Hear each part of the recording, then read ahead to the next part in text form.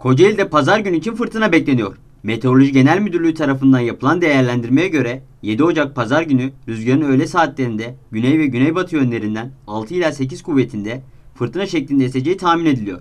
8 Ocak pazartesi gününün ilk saatlerine kadar etkili olacak fırtına öncesi vatandaşları uyaran Kocaeli Valiliği ulaşımda aksamalar gibi olumsuzluklara karşı dikkatli ve tedbirli olunmasını istedi.